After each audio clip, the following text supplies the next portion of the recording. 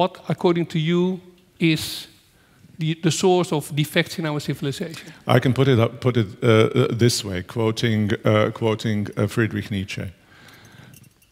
To live is to be unjust. There is a kind of fissure mm -hmm. that runs through every human deed, every, every human uh, heart, which leaves a stain in the world. Every act of human beings is projected into the world that is always already stained.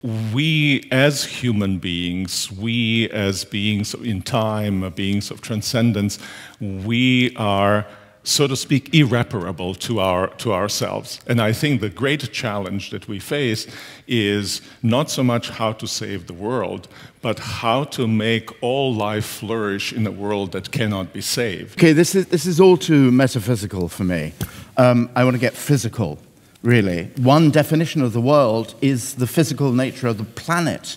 The first thing that Donald Trump says he will do is abandon the climate change accord, which only came into being last week. Sort of amazing to me that actually, if we're talking about saving the world, the first thing is actually doing something about arresting the, the appallingly threatening atrocity of climate change. The fact that Donald Trump, it's not a problem for him, actually, that he could, and someone who, by the way, has a large house in Florida where slimy inundation is already lapping at the foundations, can do this, means that actually reason is dead. The entirety of the election campaign was a victory of lies, falsehood, uh, irrationality over reason. So the first thing we have to ask ourselves is how do we actually develop a form of communication which is not intellectual? Exactly, I'm so interested in your, in your out, brilliantly outrageous interpolation. How do we actually how do we actually make reason entertaining? How do we speak? How many millennials are there out there in the darkness, actually? If you put up your hands, I couldn't see you anyway. Right, okay. Okay. Not enough of you showed up to vote in Minnesota and Arizona. And, and, and so this is, you know, if we start with the basic question of how to save the planet Earth, then we get to the question of how do we find a language that deals with the entertainment of unreason. Right. But I still want you to elaborate on your opening statement that uh, uh, on the Enlightenment, which was killed by amusement. Or right, why why your faith in the Enlightenment? Why Miroslav was talking about uh, the false beliefs of the Enlightenment? Well, I have a very low threshold of acceptability for the Enlightenment. I'm not talking Dr. Pangloss here. I'm just saying the possibility of affecting a political decision by distinguishing lies from truth. That's, you know, kind of ground zero of the Enlightenment, really. Things follow from that. That has been essentially confounded.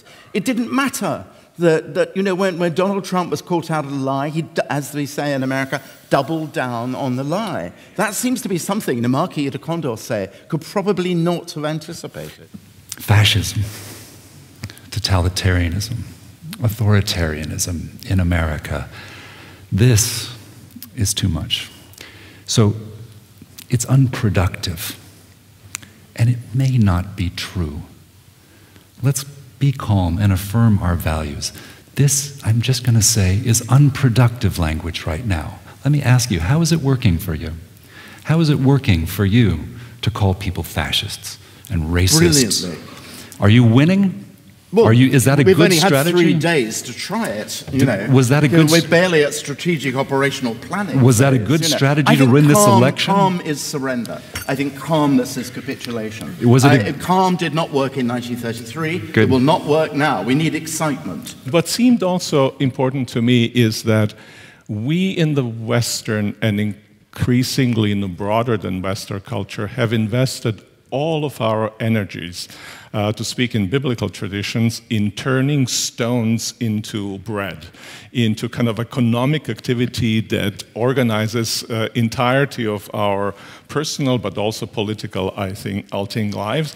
But the result of that is always proving to be disappointing. The, the levels of happiness have not matched the levels of, of, of increase in wealth, uh, increase in sense of uh, also physical well being. And I think there's a kind of crisis of meaning that's, uh, that's uh, uh, haunting the world uh, today.